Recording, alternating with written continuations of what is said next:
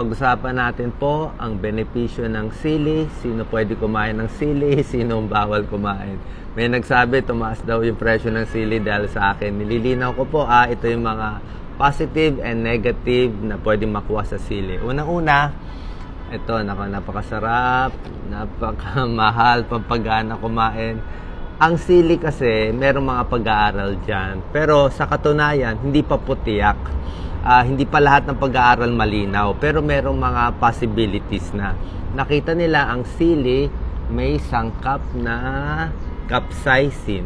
Ang capsaicin na nasa loob ng sili, may mga benepisyo, explain ko mamaya. At mayaman siya sa vitamin A, vitamin C, potassium, folic acid, at fiber. So maraming siyang mga vitamins, tsaka may minerals din dyan. Ang kulay ng sili iba't iba. Merong green pepper, yellow pepper, red pepper. Pero itong siling ganitong manghang talaga, ang mas may capsaicin. Siling labuyo. Yes, siling labuyo. Ano ang mga possible benefits? Number one, ito sa animal studies pa lang eh, sa mga hayop pa lang. Pero yung blood sugar ay hindi tumataas. Ibig sabihin, hindi ko sinasabi huwag kayo uminom ng gamot sa diabetes. Pero kung may diabetes ka, walang masama dito. Pwede ka kumain. Hindi nakakalala ng diabetes, posibleng makababa pa. Second benefit, nakakapayat daw. Bakit papayat? Eh, ang init eh, di ba? Ah, mapapainit ka, papawisan ka, bibilis ang metabolism mo, di ba? Bibilis lahat yung sa katawan mo. Mas marami ka mababurn na calories, pwedeng pumayat. O, Doc Lisa, magsili ka na.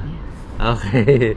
Number three, sa mga nagbabara ang ugat sa puso, ah, may konting pag-aaral sabi, yung cholesterol, ah, mas bumababa, yung bad cholesterol. Ibig sabihin, hindi naman, eh, hindi naman to matamis, di ba? So, pwede yan sa may cholesterol. Sa puso, hindi rin masama. Kung makakatulong, hindi pa tiyak. Pero sabi ni sa pag-aaral, baka makatulong.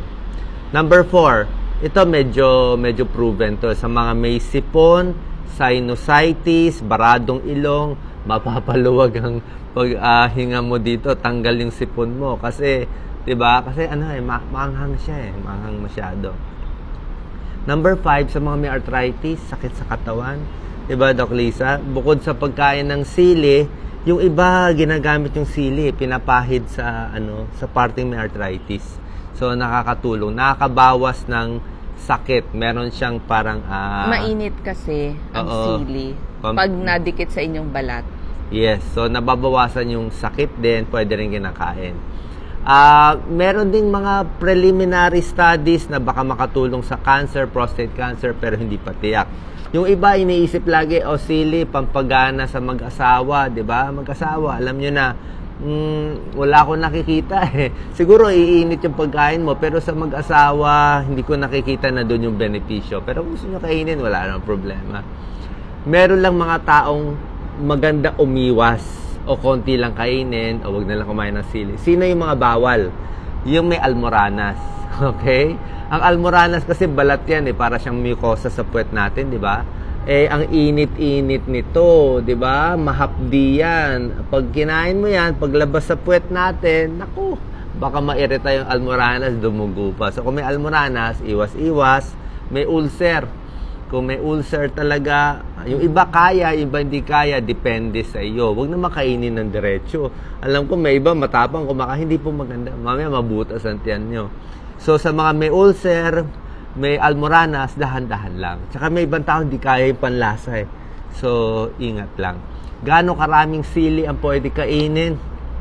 Wala talagang recommendation eh.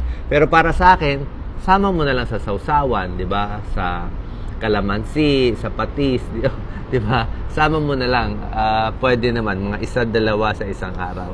So, yun lang po. Sana nakatulong. Walang masama sa pagkain ng sili, pampagana. Pero, yung mga pag-aaral, hindi pa tayo tiyak dito. Pero at least, hindi naman siya nakakasama sa katawan. So, salamat po. God bless po. Ah, like and share po. Thank you.